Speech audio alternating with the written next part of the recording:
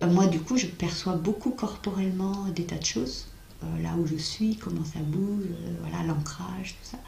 Et du coup, je racontais aux gens ce que je ressentais, et du coup, ça les mettait dans le même lieu. Donc c'est comme ça que j'ai commencé, complètement en autodidacte.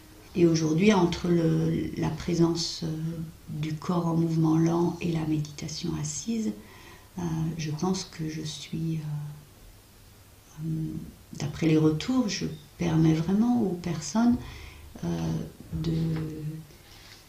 de, se remettre dans leur corps, euh, de moins être dans la tête, de, s'accepter exactement tels qu'ils sont dans l'instant présent, de créer une tendresse envers eux-mêmes, euh, d'être présent à ce qui se passe maintenant et, et du coup d'être moins dans la tyrannie du projet ou du regret.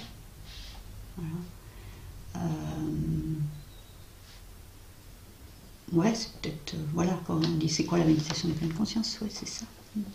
Quand on est dans ce lieu de présence à soi-même, de présence euh, sans jugement et ancré dans la, sensibilité dans le corps, c'est un lieu où il n'y a plus de représentation et donc où les gens sont dans l'essence de ce qu'ils sont, dans leur beauté, je dirais.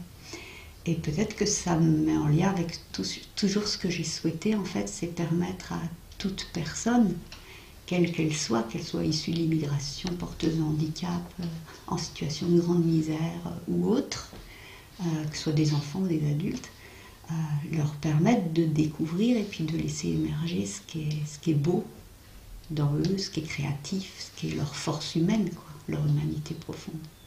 Et, du coup, euh, j'interviens au Carrois pour la deuxième année, et puis aussi dans les écoles. Et là, ça fait deux ans que j'interviens au collège de Loué avec les sixièmes. C'est un bon âge pour ça, les sixièmes. Et ça aussi, c'est riche. Il y a toujours des enseignants qui participent et les enseignants de découvrir euh, la profondeur de leurs élèves. c'est chouette. Mm. Il y avait une enseignante qui m'avait dit J'ai appris à découvrir ma classe, ah, c'était en CM, mais euh, euh, ce sont plus seulement mes élèves, ce sont aussi des enfants. Mm. Des enfants qui disaient aussi En méditation, j'ai appris à aimer euh, les autres de la classe, même si ce ne sont pas mes copains. Je trouvais ça aussi chouette. Mm.